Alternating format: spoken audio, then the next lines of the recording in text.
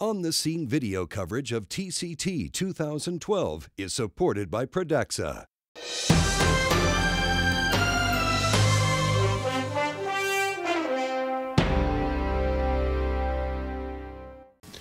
Uh, thank you, Professor Moran. It's a great uh, privilege uh, to stand up here and give the uh, first presentation of the uh, XIMA investigators.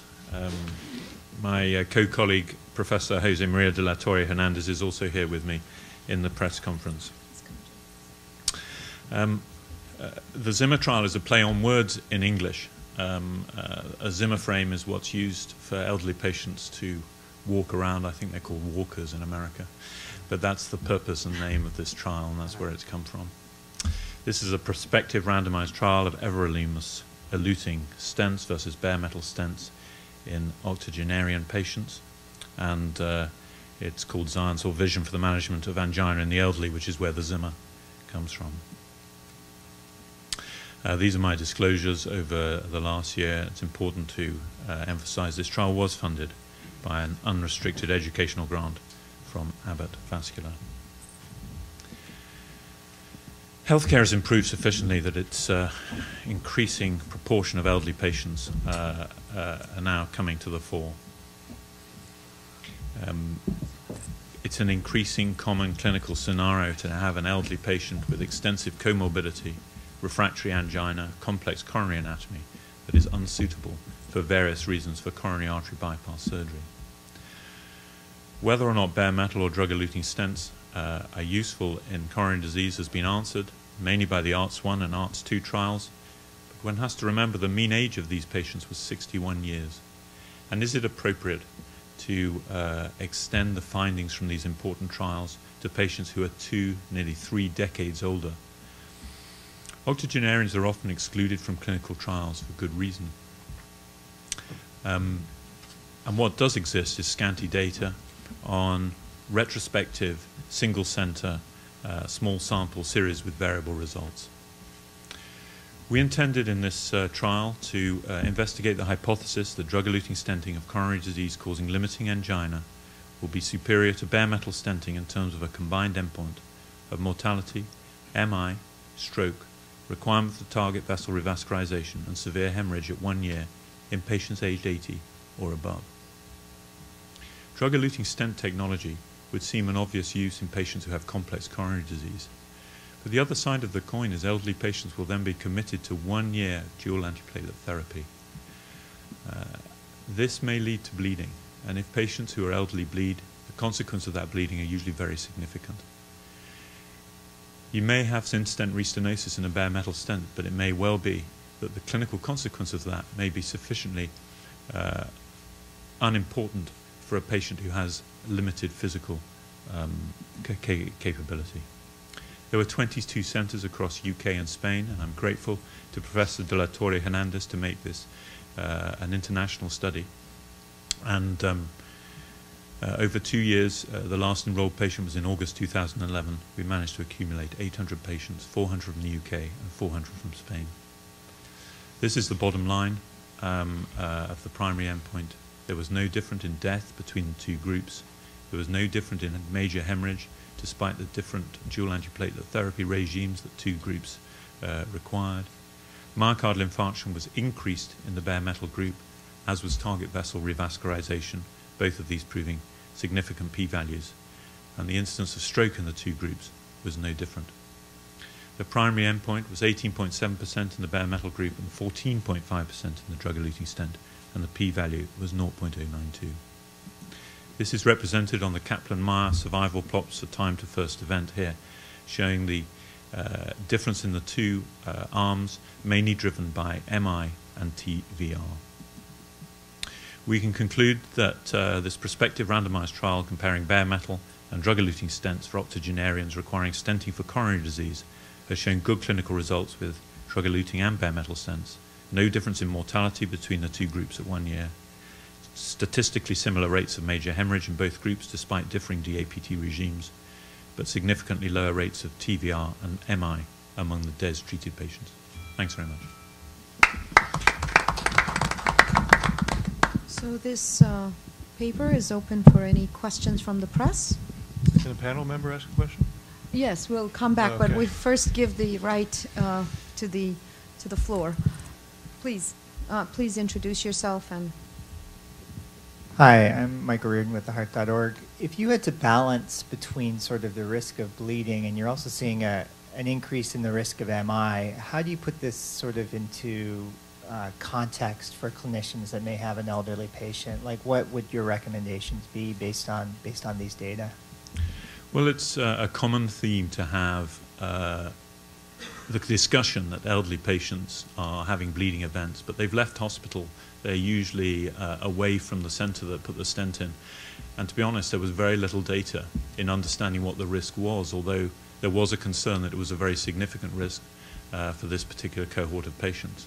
What's reassuring is that uh, the severe hemorrhage rates uh, were a little low. I haven't shown you the sub-analysis, but it shows you that between six months and 12 months in the uh, drug-eluting stent group, uh, there was 1% uh, severe major hemorrhage 0.2% in the bare metal group.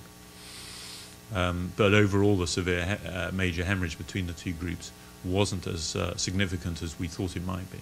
And I think this is very useful data for patients, perhaps can be reassured from this that if they do want to put drug-eluting stent technology in elderly patients, that the consequences of this are not as significant as we thought it might be. Was is the risk in MI that you're seeing in sort of the uh, primary endpoint um, is that concerning to you, or how does that balance out against sort of the reduction in bleeding versus you know the the increased risk of MI? Yeah, the bare metal group. Um, I suppose uh, my thought initially that the the in-stent restenosis that we saw in the bare metal group might be relatively silent clinically has actually translated into important myocardial infarction events, and so that's an important finding from this study in terms of decision making. Uh, Dr. Miller? Sorry. we've got, well, I think she has, she's first, yeah. You're fine? Okay. Uh, Ed Sussman from PhD. If the target vessel revascularization, was that angiographically driven or symptom driven? This is clinically driven. Uh, yeah, we didn't we didn't do uh, serial angiograms on these patients. Any other questions? Yes. Burt Cohen from angioplasty.org. Again, uh, I've asked this question all the time. Uh, definition of, of bleeding. It was this was not access site bleeding. This Yeah, was, yeah. No, we use the TIMI. Uh, the TIMI. There's the, what I've presented is TIMI major, Okay. is as a definition of severe hemorrhage. So just to follow up, what was the rate of TIMI Minor? Because while TIMI Major is uh, extremely important, but so is TIMI Minor, especially in the elderly. Uh, I haven't presented that data, but it's uh, 3% in the drug-eluting stent group and 2% in the bare metal group. Okay. That's quite low. Okay, so let's come to the uh, to the to the panel. Dr. Gray, you had a question, Dr. Silber. Yeah, Dr. Bella, very important study, of course, because elderly as an inclusion criteria. So the primary endpoint was not met. Correct. Okay. So what is your conclusion? Should should uh, should we prefer drug-eluting stents in the elderly or not? I mean, the the, the major uh, uh, driven, the major component of the primary endpoint was target vessel revascularization, and this was highly significant different. And I can imagine for elderly people, it's it's a pain to come back again on on the cath table. So. I would say yes, uh, in general, if there's no contraindication, you should go for drug-eluting stent, even in patients over 75. What is your conclusion? I think we're reassured by this data that uh, the outcome actually for both groups was, was uh, pretty good. Some of the registry data uh, shows incidence of much greater events than these that uh, have been reported. Um, so whereas the primary endpoint wasn't met, are, uh, analysis of the data shows that TVR and MI of the bare metal group is a clinically important endpoint that we should uh, decide. I'm reassured by this, these data that drug-eluting stent technology will be of benefit to this age group. Jim? Congrat- congratulations. This is a very important study, common problem we all face. Stent thrombosis rates um, between the two groups, do you uh, able to tease out that? we haven't been able to tease it out. The main problem is the difficulty in uh, the mortality patients. A lot of uh, the deaths were difficult to get uh, uh, specific data from rural uh, Spanish sites, and uh, uh, the reason I haven't presented it is because we're working hard in trying to, uh, to, to nail that. But I'm not sufficiently comfortable with the data at the moment to, to say. It looks, uh, it looks like, certainly from the UK data, that it's low, but I can't give you a specific number at the moment. Bill? Um, I think it's, a, I always love to see a, a, a trial that takes on excluded patients from other trials. And when you, you take on a group of confounding patients, and I think you give reasonably clear data, I think it's important. And especially, as everybody said, this is a, a difficult population that we all deal with. So congratulations.